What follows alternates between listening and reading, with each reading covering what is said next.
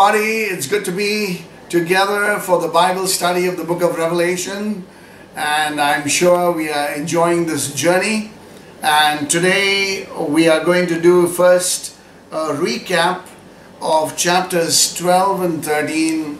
And, uh, and then we will move into chapters 14 and 15. And after that, we will have some questions and answers. The questions that came to me during this journey of the book of Revelation during these days. Wonderful. Shall we pray? Our loving Father, we truly want to thank you for every viewer, every listener that is um, here, Lord God, and we pray that you would bless each one, that we would have listening hearts to receive from your word, and we would be built up in faith, and we would be strong and courageous during these difficult times. We want to thank you also for the miraculous escape from uh, this cyclone that was going to hit the west coast of India. We thank you for saving Mumbai and even the surrounding places. We want to give you all the praise and glory. You are the God of the heavens and the earth, and we bow down before you and we give you all the praise and glory. Bless this time of the Bible study. In Jesus' mighty name we pray. And God's people say, Amen. Amen. Say truth, truth. Amen. Hallelujah. So now Last week we spoke about the seven midweek personages and uh, we will just recap very quickly and uh, looking at Revelation chapter 12 and verses 1 and 2 we look at the first frame right and it's speaking about the sun-clothed woman who is none other than Israel as a nation. Amen. The woman is Israel. Amen. Are we clear on that? Wonderful. And this woman has the 12 stars on her head. She's clothed with the sun as well as standing on the moon. These are all the constellation of stars and planets and the formation that we saw recently in uh, 2017 I guess the the alignment of the planets during the four blood moons and the two solar eclipses. The second uh, personage that we see in verses 3 and 4 is the dragon and he's none other than Satan himself. The third one is verse 5 and it speaks about the man-child, the Christ. Amen. But also we see that it could speak about the Jews, the 1 lakh 44,000 even during the tribulation time where they are the nucleus of new Israel. Amen. So not only Christ being birthed, amen, but it is from the nation of Israel, from the tribe of Judah, but it is also the 1 lakh 44,000 being born again in the first half of the uh, seven year tribulation in the first three and a half years. Wonderful. We move on to verses 7 to 12 and there we see the archangel Michael, the warring angel in heaven. Amen. Praise the Lord. And uh, verses 13 to 17, we see the Jewish converts. Amen. Thank you, Jesus. Now, um, chapter 13, verses 1 to 10, we see the beast coming out of the sea like the seas of humanity and this is none other than the antichrist Amen. The Antichrist and um, the details of which we will see in the next frame. And then verses 11 to 18, we spoke about the beast of the earth, who is the false prophet. So this is the Antichrist and the false prophet. Amen. Now we move on to the second frame, and here we see this ugly looking beast with seven heads, the heads of lions. And uh, this beast out of the sea is the Antichrist, the seven heads of world domination, namely Egypt, Assyria, Babylon, Medo-Persian, Grecia, uh, Rome, and the new revised Rome to come, okay? And the ten kings are the nations of the Antichrist during the tribulation. Amen. So these ten horns are none other than the ten uh, nation confederacy which could be very much the former Roman Empire, nations ruled by Rome. And this could be part of the EEC nations and even the nations around the Middle East, including um, North Africa. Amen. So having recapped, now we move into chapter 14. Shall we read chapter 14 of the book of Revelation? Okay. Now, verses 1 to 5. Then I looked, and behold, a lamb standing on Mount Zion, and with him 144,000, having his father's name. The lamb's father's name is Yahweh, and the lamb's name is Yahushua. The Holy Spirit is the Ruach HaKodesh. These names are all Hebrew names. Amen. Having his father's name written on their foreheads. Amen. So, verse 2 And I heard a voice from heaven like the voice of many waters, and like the voice of loud thunder. And I heard the sound of harpists playing their harps. Now this is a wonderful music, a heavenly music, a melody that is coming from heaven. Harps will always speak of melody. Amen.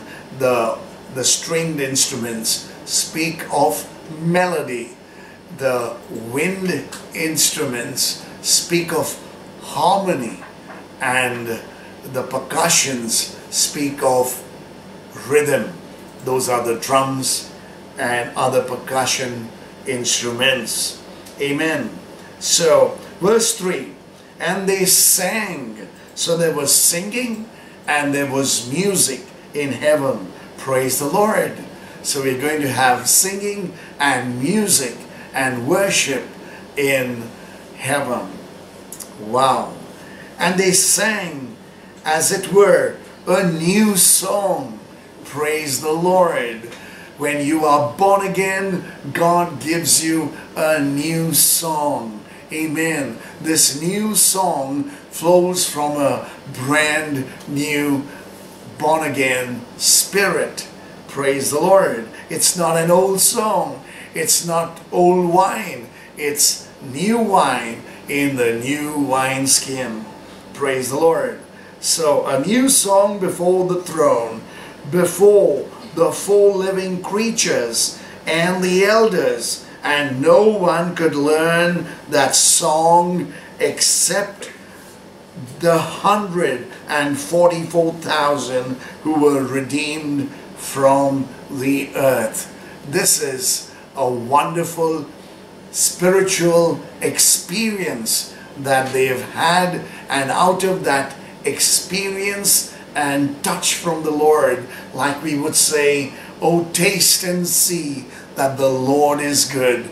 Blessed is the man who trusts in him. Amen. Only the one who experiences this brand new life in Christ is able to sing the brand new song. Amen. Hallelujah. The song of redemption. Hallelujah. Amen. Verse 4 These are the ones who were not defiled with women, for they are virgins. These are the ones who follow the Lamb wherever he goes. These were redeemed from among men, being firstfruits to God and to the Lamb. And verse 5 And in their mouth was found no guile. Hallelujah. For there was no deceit at all in their mouths, for they were without fault before the throne of God. Out of the abundance of the heart, the mouth speaks. So there was no deceit, no guile in their hearts, and that was reflected in what was flowing out of their mouths. The sweet waters, not bitter waters. Amen. Amen. Hallelujah. So these 1 lakh 44,000 are now on the heavenly Mount Zion. Praise the Lord.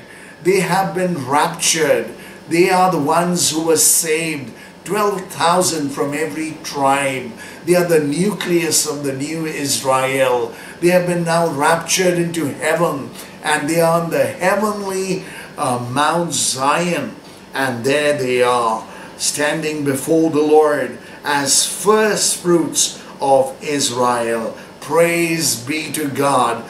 Could we shout, Hallelujah!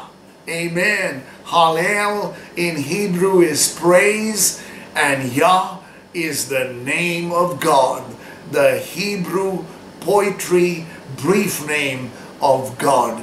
Yahweh and Yahoshua meant to be Yah. So hallelujah is not praise the Lord, but praise his actual name. Praise Yah. Lord is only a title. Amen. We move now on to verses 6 and 7. And starting with this one are the three angels because today we are looking at the three and the seven angels of God. Okay? So now is the first one. The angel of the everlasting gospel. Amen. So then I saw another angel flying in the midst of heaven, having the everlasting gospel to preach to those who dwell on the earth, to every nation, tribe, tongue, and people. Verse 7 Sing with a loud voice, fear God and give glory to Him for the hour of his judgment has come, and worship him who made heaven and earth, the sea, and the springs of water. Hallelujah. We need to fear God and give glory to him. This was the angel with the everlasting gospel, good news, with a message to tell the whole world, all the nations, every nation and tribe and tongue. Praise be to God. Amen. Then we move on to, so that's the first angel preaching the everlasting gospel. Wonderful. Why? Because God is hastening the work. Because the souls have to be saved in the short time Otherwise, they will be lost for eternity and they must not bow down to the mark of the beast. Amen. They must not bow down to the Antichrist. Amen. So, we look at verse 8. Now there is a second angel, amen, of the three angels. And another angel followed saying, Babylon is fallen, is fallen, the great city, because she has made all nations drink of the wine of the wrath of fornication. Now, Babylon stems from Babel, right from the book of Genesis, chapter 11, where we see Nimrod building the Tower of Babel, trying to defy God. And in all that satanic rebellion, we see they were all cursed with different lang tongues and languages. And so they there was confusion and they were spread out all over the world. Amen. Now uh, babylon is this whole mystery babylon is nothing else but the harlot church and the whole one world religion that has i believe that has already begun in a trickle and it's going to snowball into a one world religion. It has already begun with Chrislam and the Baha'i movement and all uh, religions coming together to, to have a common doctrine, a common code. And this will be a Christless one. It will be a godless one, but only glorifying Satan, Lucifer, and the Antichrist.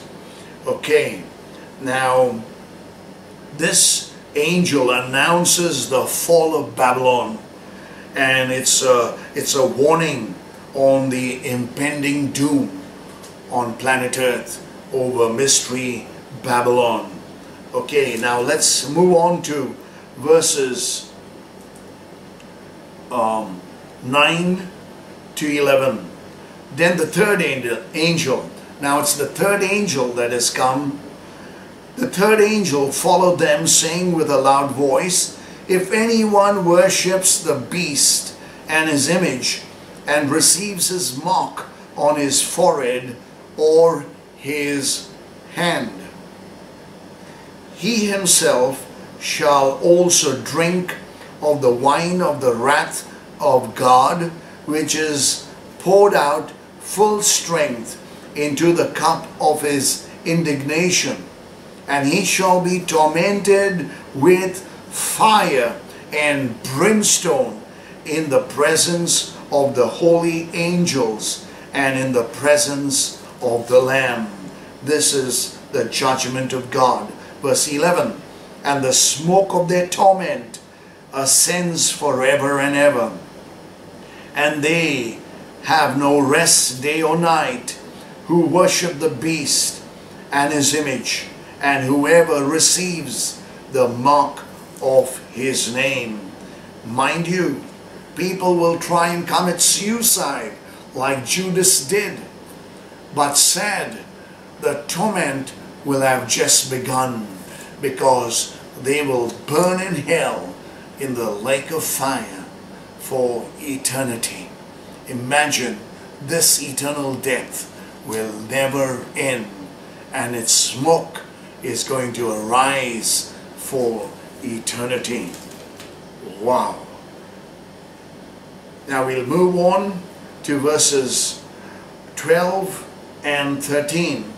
These were the three angels that pronounced the first one proclaimed the gospel and uh, the next two um, pronounced judgments, one on Babylon and the other one on the beast worshippers. This judgment uh, was the torment with fire and brimstone that would never end. We look at 12 and 13. Here is the patience of saints here are those who keep the commandments of God and the faith of Jesus. that is Yehoshua. Then I heard a voice from heaven saying to me, Write, blessed are the dead who die in the Lord, that is, in the Lord Jesus Christ, from now on. Yes, says the Spirit, that is the Holy Spirit, that they may rest from their labors and their works follow them. Hallelujah. This is the blessing of the tribulation saints. Many are going to be saved, millions in fact. The patience of saints who die henceforth.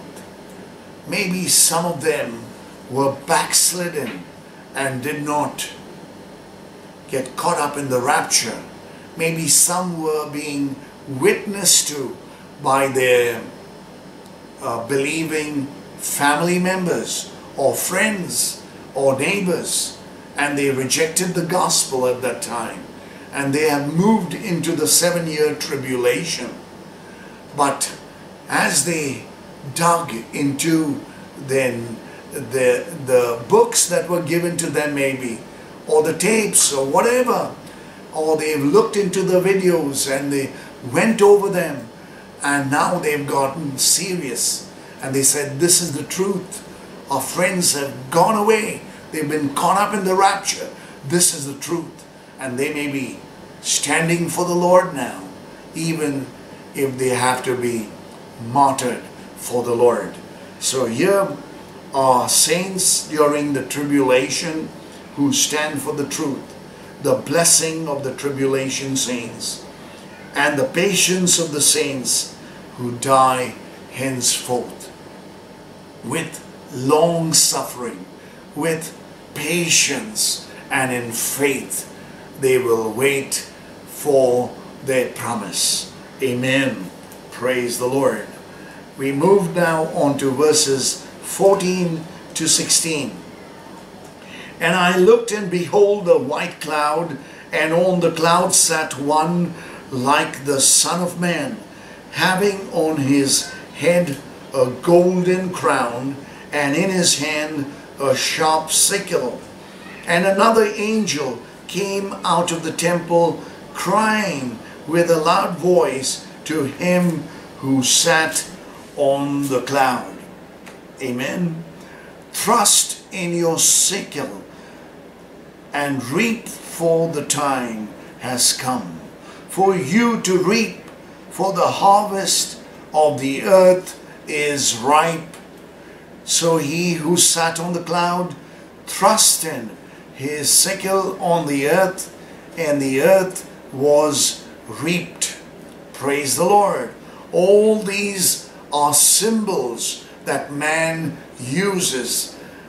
God really uses these symbols so that man can understand through symbols what he's trying to convey with few words. So here is a scenario of the Lord sitting on the clouds with a golden crown and a sickle in his hand. And it is time for the harvest of the earth. So he casts the sickle down to gather in the harvest. Now, verses 17, okay, um, verses 17 to 20. Then another angel came out of the temple which is in heaven. He also having a sharp sickle. And another angel came out from the altar who had power over fire. And he cried with a loud cry to him who had the sharp sickle, saying, Thrust in your sharp sickle and gather the clusters of the vine of the earth, for her grapes are fully ripe. So the angel thrust his sickle into the earth and gathered the vine of the earth and threw it into the great winepress of the wrath of God. And the winepress was trampled outside the outside the city, and blood came out of the winepress up to the horses' bridles. Amen. Up to the bridles of the horses for 1,600 furlongs. That is about 184 miles. It was a river of blood. It was a river of blood. This was bloodshed all over. Mind you, it is it is a terrible scene. It's the reaping of the vine of the earth, the great wine press of God's wrath. Death comes and and there's death amongst the human beings. Blood is shed and uh, it's it's a bloody scene. It's a very bloody scene. Now we will move on to chapter 15. Looking at, we'll skip verse 1 and come back to it later. But we will look at verses 2 to 4. Now, 2 to 4 talks about the victor's song.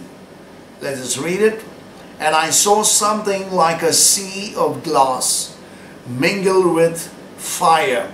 And those who have the victory over the beast, over his image, and over his mark, and over the number of his name, standing on the sea of glass, having harps of God. Amen. And they sang the song of Moses, the servant of God, and the song of the Lamb, saying, Great and marvelous are your works, Lord God Almighty. Just and true are your ways, O King of the saints. Who shall not fear you, O Lord, and glorify your name? For you alone are holy, for all nations shall come and worship before you, for your judgments have been manifested. This is the victor song of the victors over the beast before God. Just like the song of Moses when they when they um, had victory over over uh, Pharaoh and his army. Amen. Remember in Exodus chapter 15 where Miriam goes dancing with the tambourines and it's a prophetic song of Moses. It's a song of deliverance. It's a song of redemption. So all these are worshiping God with this beautiful song and with music. Praise the Lord. And this is a parenthetical because uh, in chapter 15 and verses 2 onwards uh, till verse 8 it, uh, it talks about the victor song and all the saints of God there and in heaven and then the ushering of the seven angels. So now let us look at verse 1. Okay. Then I saw, this is chapter 15. Then I saw another sign in heaven, great and marvelous, seven angels having the seven last plagues. For in them the wrath of God is complete. The 21 judgments of God. Seven threes are 21. Amen. So these are the seven last judgments of God that He executes. Um, let's look now at verses 5 to 8. After these things I looked, and behold, the temple of the tabernacle of the testimony in heaven was open. There was an inner shrine, so to say. And out of the temple came the seven angels, having the seven plagues, clothed in pure bright linen, and having their chest girded with golden bands. Then one of the four living creatures gave to the seven angels seven golden bowls full of the wrath of God who lives forever and ever. The temple was filled with smoke from the glory of God and from his power and no one was able to enter the temple till the seven plagues of the seven angels were completed. My. So the seven bowls of God's wrath are prepared. The seven angels are ready to pour out the seven bowls of wrath. And this we will discuss next week in chapter 16. Amen. Praise the Lord. these are visions between the warnings and the seven final plagues. Amen. Praise the Lord. So I trust we are learning. I trust we are reading I trust we are meditating. And if there is any question that you have, please send it to either Sister Bella or send it to me. And be sure, be assured you will receive the answer for those queries. Amen. We trust the Holy Spirit to give us an understanding and wisdom and knowledge to answer those beautiful questions that you come up with. Okay, now as we said, we are going to look at some questions that you forwarded to me or to Bella uh, these last few weeks. Let me look at them.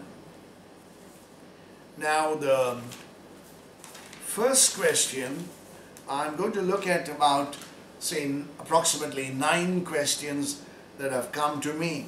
I won't mention names of the people who have asked uh, these questions. The first question is, why is the book of Revelation called the little book? Amen. The book of Revelation is the final prophecy and the final book of the Holy Bible, God's manual given to man. Amen.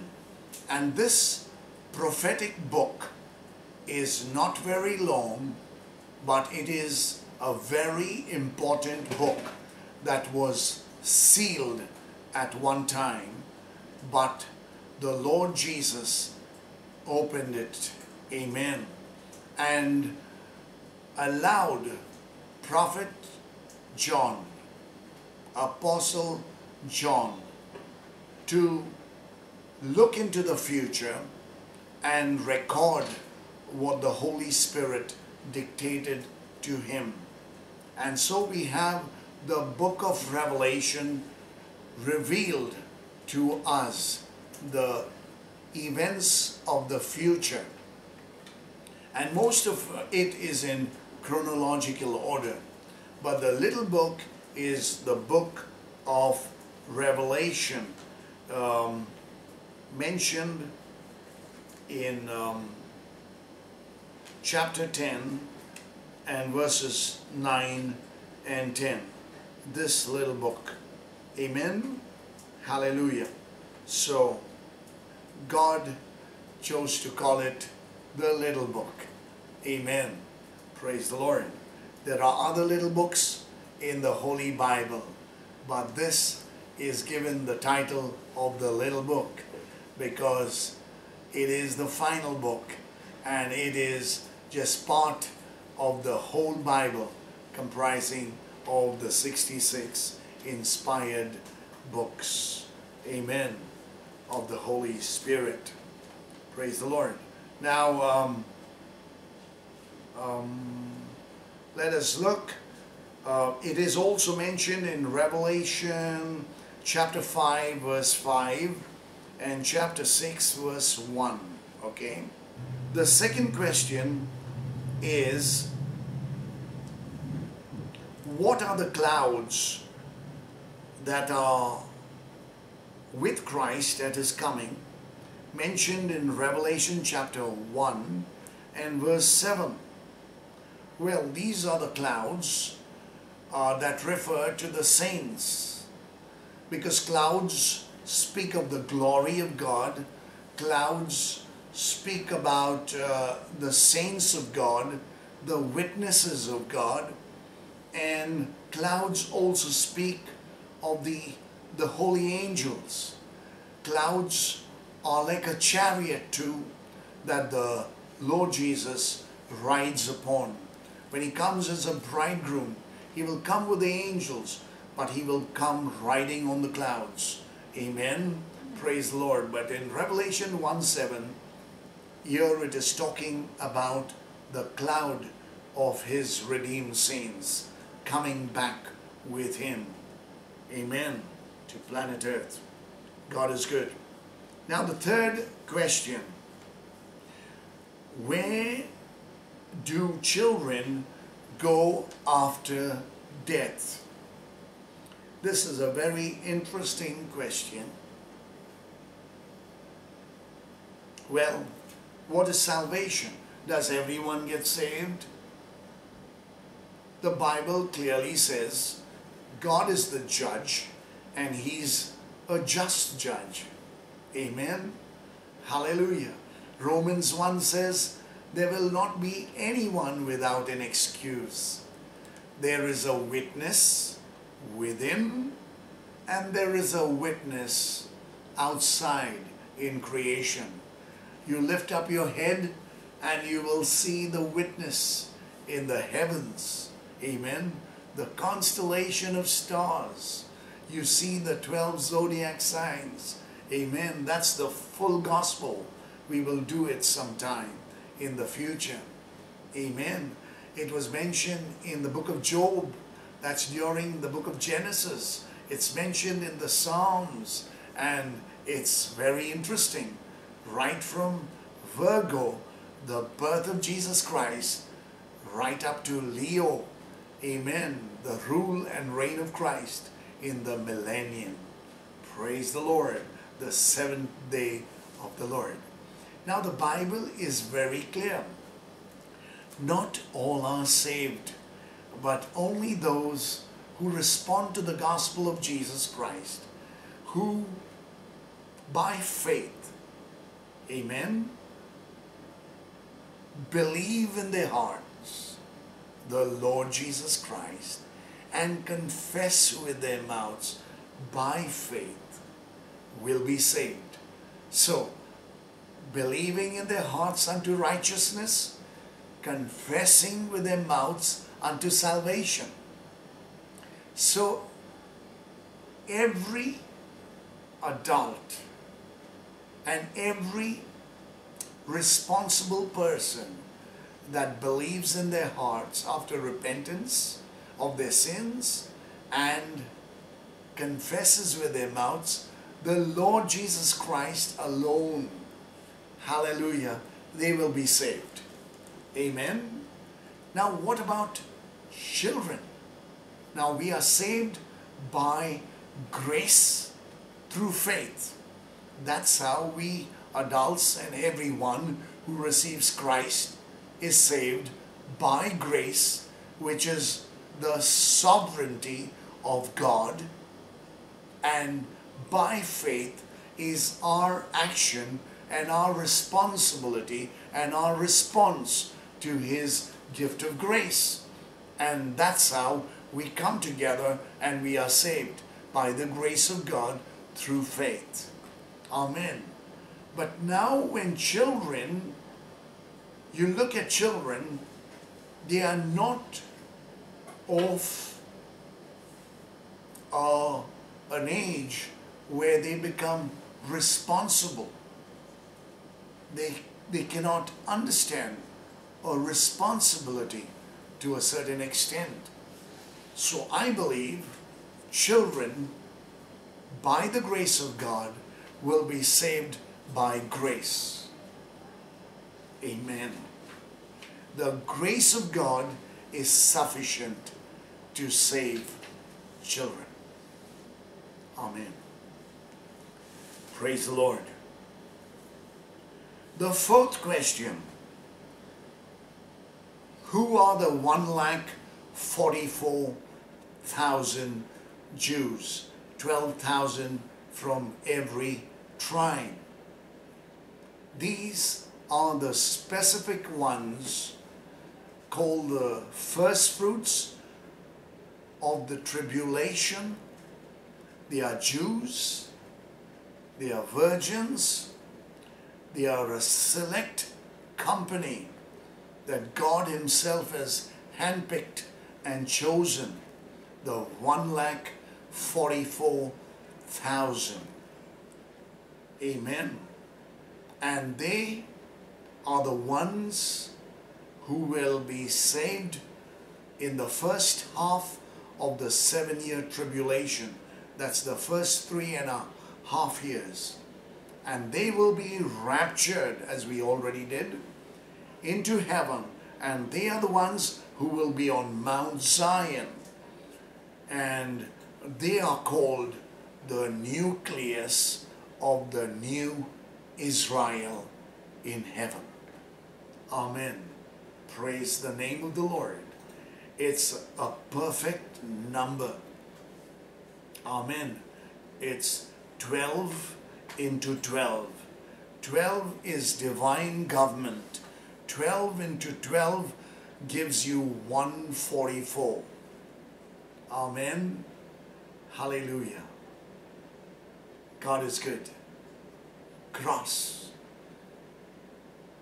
It may be an expression of a multitude, but a specific number. But here it's given 1 lakh 44,000. So praise the Lord. So be it. Amen. Praise God. So this is the nucleus of the new Israel. Other Jews will be saved even before the tribulation and they'll be part, like the Messianic Jews, they will be part of the bride of Christ together with the Gentiles, Jew and Gentile together in the body of Christ.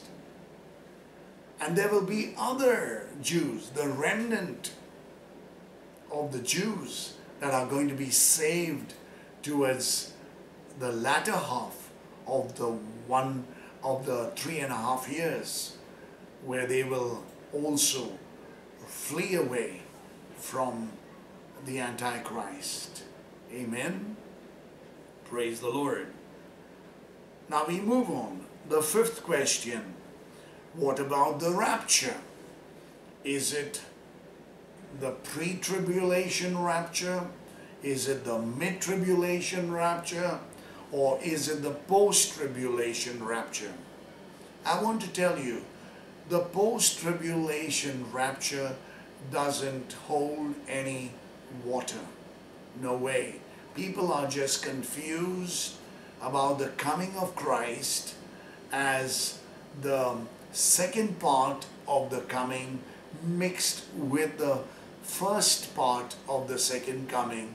So, as a bridegroom and as a judge, and they are all confused about it. But I want to tell you, there's, I believe, it's not even the mid tribulation rapture, although many believe in that, because it's loud and clear that the saints of Jesus Christ will not be given beyond what they can bear. God will make a way of escape. It's made very clear, as we already spoke in one of the sessions, Revelation chapter 3 and verse 10. The church in Philadelphia, they were rapture ripe, they were ready for the rapture of the saints, of the bride of Christ. Amen. So, this clearly indicates when you look at chronology, it's the time of the rapture. Amen. So we see the first part, um, we see Apostle John seeing the glorified Christ in chapter 1. Then we see chapters 2 and 3 talking about the seven churches, even chronology, chronologically, starting with the first church in Jerusalem and flowing into the tribulation, but the Philadelphia church stops at rapture. Amen. And then you look at uh, chapter 4 and verse 1. So, chapter 3, verse 10 to chapter 4, verse 1 is all about the rapture. This is the pre tribulation rapture. So, if you are born again, you will be caught up and in the twinkling of an eye, at the sound of the trumpet, you will be changed, transformed, and you will be caught up to meet with the Lord in the air. Those who are dead in Christ will be raised first, and together with those that are living, together will be caught up. Amen. In the twinkling of an eye, you will have a resurrected body. Hallelujah. A born again body. So it's the pre-tribulation rapture. Amen. Hallelujah. Thank you, Jesus. God is good. The seven lampstand also before the throne of God. The Holy Spirit will take the church with him. Amen. Praise the Lord. And the restrainer is gone, and then will be revealed the Antichrist. And then we will see the third temple being built. Amen. So, the let's look at the sixth question. The sixth question is Revelation chapter 4 verse 1. Apostle John is called up he says, um, come up hither. Right? The angel is calling him. And so the question is, is it only Apostle John that is being called up to heaven? Is he alone being raptured into heaven as an experience or whatever? Or bodily taken to heaven? I want to tell you, he's caught up like Apostle Paul into the third heavens. But it is the church of Jesus Christ, and he's part of the church of Jesus Christ that is going to be caught up in the rapture. He's the final of the 12 apostles that represent the church of Jesus Christ. Amen. Hallelujah. Thank you, Jesus. Number seven. Now, when we look at Revelation and we look at Daniel, Daniel is a book that is um, the revelation of the Old Testament. There are many things in common and much before, 500 years before Christ, these things have been revealed to uh, prophet Daniel. And so now looking at um, um,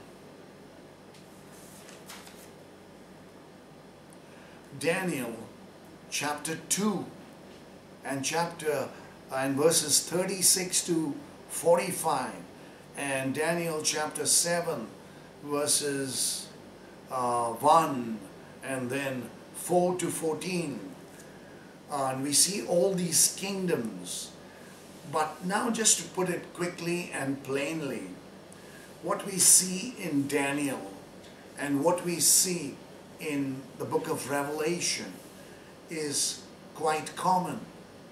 First of all, there are seven main empires in the world, like the seven heads of the beast. That's the Antichrist. One is Egypt, second is Assyria, third is Babylon, fourth is Medo-Persian, that's the Medes and the Persians, and then comes the Greeks or Greece, and then comes Rome, the sixth, and the seventh one, seventh one is Rome revised. Now, in Daniel, the first two kingdoms are already past. Egypt and Assyria have already passed. These kingdoms have passed. It's before the book of Daniel. And so it is Babylon that is ruling. Nebuchadnezzar is ruling. And Daniel and his friends and Israel has been, they've been um, taken captive in Babylon. They are captives. But um, here we see Nebuchadnezzar talks about the dream and this huge statue of the golden head, the silver um, shoulders, yeah, the two shoulders in silver, and then the brass torso, right? And that's the stomach area, and then we have the two iron legs, and then the feet of iron and clay. Now, what are these? These are the various kingdoms. After the first two kingdoms, there are five more kingdoms. Uh, that is the existing kingdom Babylon, and then moves on to the other four kingdoms. So, Babylon is gold. It's all the grandeur of Babylon and the glory of Babylon. It's a real strong empire. And then we have the Medo-Persian. It's not uh, as glorious. It's in silver and not as glorious as Babylon, but not weaker than Babylon, equally strong. Yeah, so we have Medes and Persians, two arms, right, in silver. And then we have brass or bronze, and that is Greece. Amen we have Alexander the Great and you know and then his kingdom was divided to four generals uh, whatever but that was the Greek Empire and then we have the two iron legs which is the Roman Empire okay and the feet which is iron and clay speaks of the Roman Empire the club of Rome revised they are still in control. They are still in control of the European Union.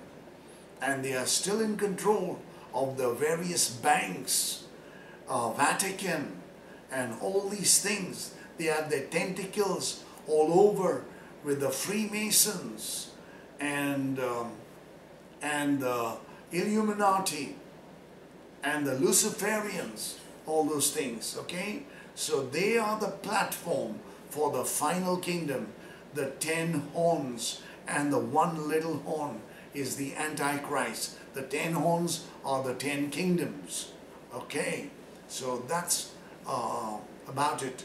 The, the, the, Babylonians are like the lions and um, uh, the Persians uh, are the bear, uh, Medo-Persians, and like you have Russia, whereas this symbol of a bear. uh, you have the US, the symbol of uh, an eagle. Amen. The, the bald eagle. And, uh, uh, you know, we see the leopard as the Greeks. And, um, you know, also we see the ram and the he goat. Yeah, they two fight. That's the Medo Persian Empire and the Greek Empire. And they both clash against each other. And Greece wins. Yeah, so it is all the uh, the the world empires following. This is all human history and it is his story and yet God's people go through all these empires without being conquered. Today Israel is a nation that belongs to God. Amen. And we all belong to our God.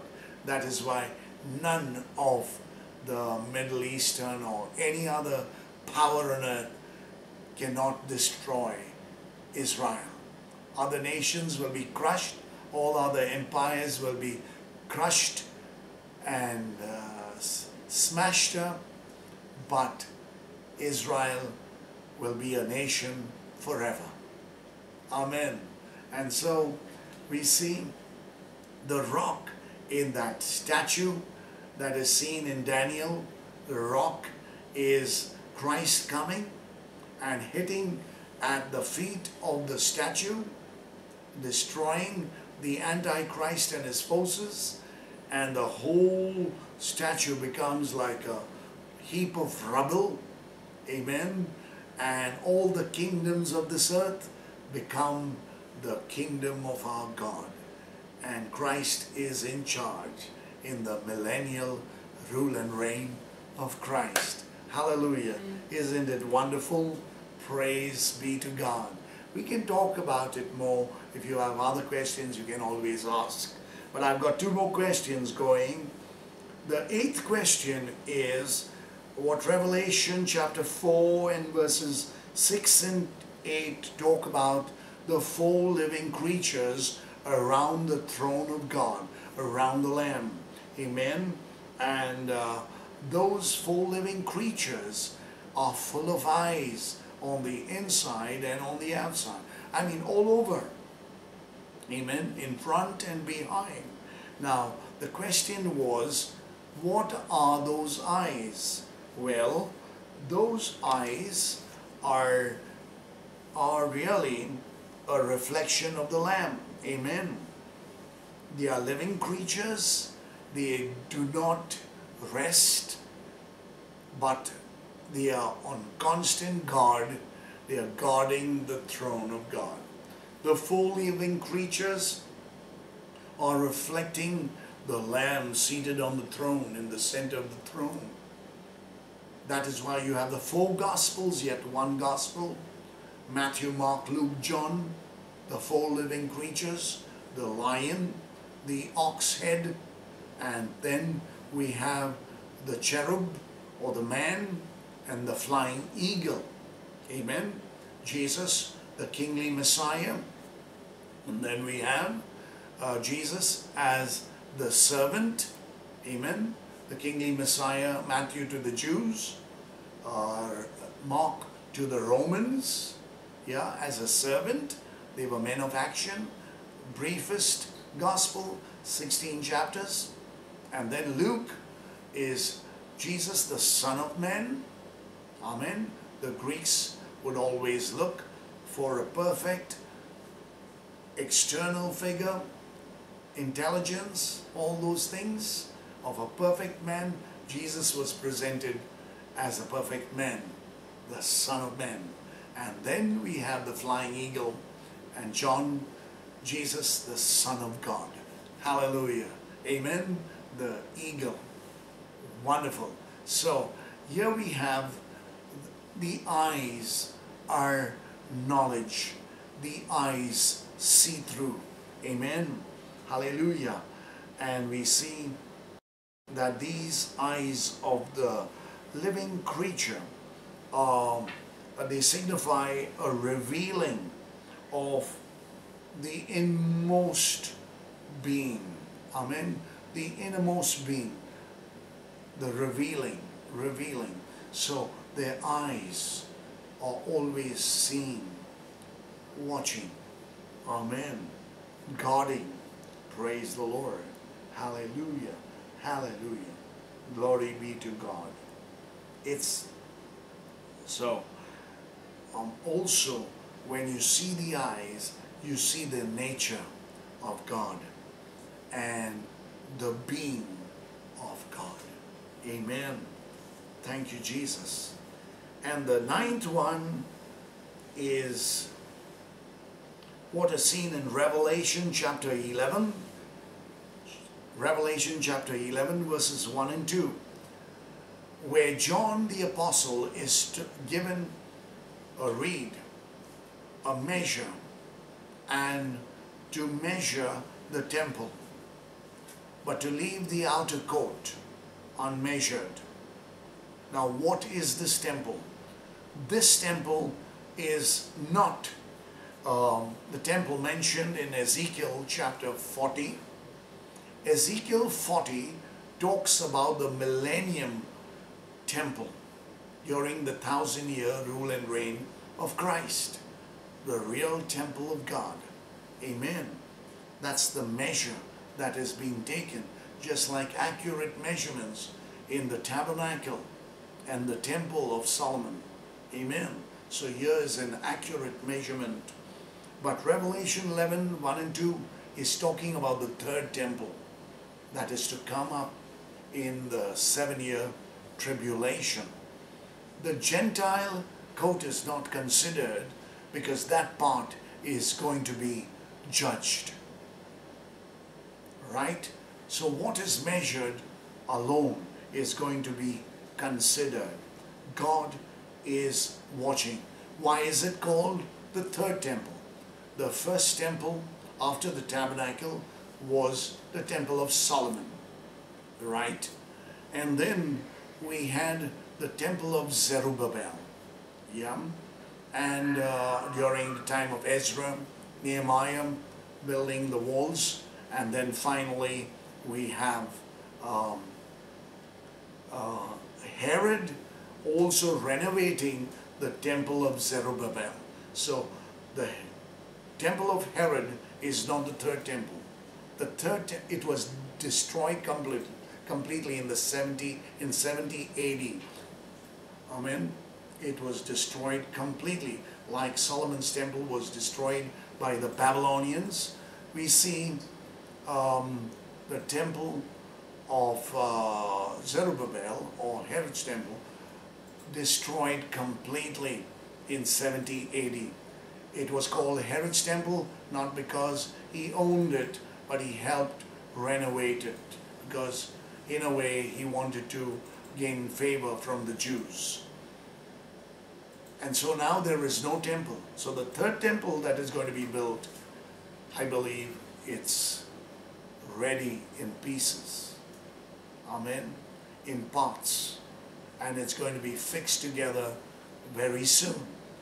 That will usher in the Antichrist. It will usher in sacrifices made by the Jews in the first three and a half years. And the latter three and a half years, the Antichrist is going to break his seven year covenant with Israel and betray them and then hound after them. Amen. So, thank you for your patient listening. God bless you. And we will meet next week the same time. How did you enjoy today before the bible study? Some little quiz that pastor agnello has given you? Great. Hallelujah. So uh, read the next uh, chapter uh, 16 and uh, we will we will enjoy it let's pray father we thank you once again for all that we learned today continue to bless us. And Lord, cover the seed that has been sown in our hearts and minds with your blood, that it would fall on good soil, germinate and burst forth into living faith. And by the growing in your grace and in your knowledge, we would it would just humble us to bow down before you and worship you. In Jesus' mighty name we pray. And God's people say, Amen.